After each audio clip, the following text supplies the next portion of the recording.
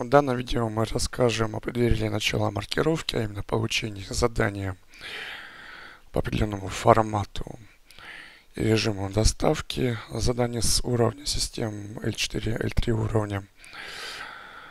А, как говорилось ранее, видео по настройкам, а настройки обмена синхронизации настраиваются на вкладке синхронизация в разделе настроек.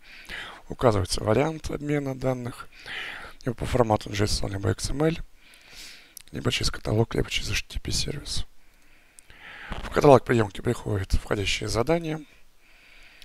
После успешной отработки их они помещаются в архив, а в каталог отправки формируются ответные пакеты данных системы Contract Line, либо э, при завершении задания по маркировке формируется отчет с линии. А, загрузим задание. В каталоге приемки у нас есть уже выгруженный файл в формате JSON. Теперь численны у нас параметры задания, сами коды. Нажимаем кнопку «Синхронизировать». как видно, появилось у нас новое задание в статусе «Подготовка».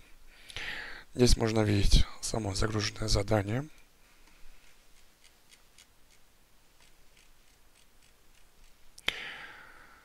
В случае, если не была а, допущена какая-то ошибка в пакете, его здесь руками отредактировать и переотработать. В случае, если будет статус ошибка, здесь появится кнопочка «Обработать», чтобы не перезагружать повторно тот же самый пакет. А, при обработке задания у нас обработалось задание и сформировался пакет а, успешной обработки по получению задания Report in Собственно, где пишется статус, ок и комментарий, пакет обработ... данных обработан. А, перейдем, посмотрим само задание. Загружены параметры задания собственно, такой организации, ННН, продукция, JTeam, срок годности продукция, номер задания, номер партии мы не выгружали, если маркируется как партия, будет указан еще номер партии.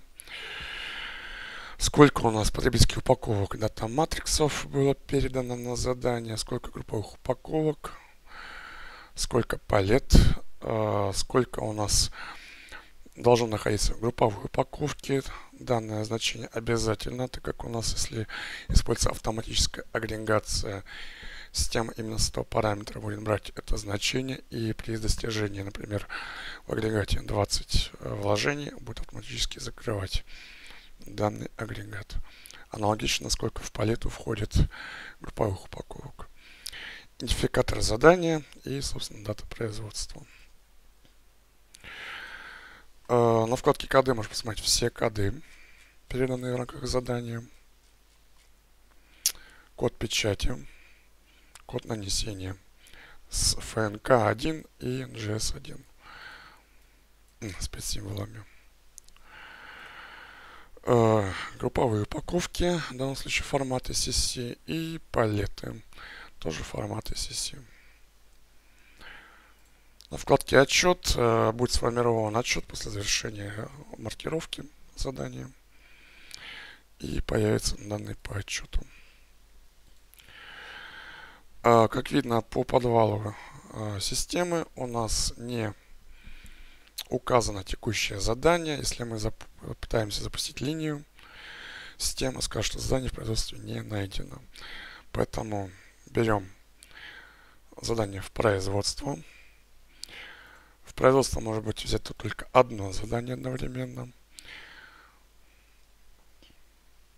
Оно сейчас остановлено. Задание взято в производство, как видно в подвале. Э, также можем провалиться из любого раздела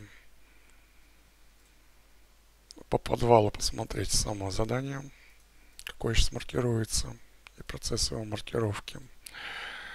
При взятии задания в производство на вкладке коды у нас представлены все коды, которые сейчас э, находятся в маркировке.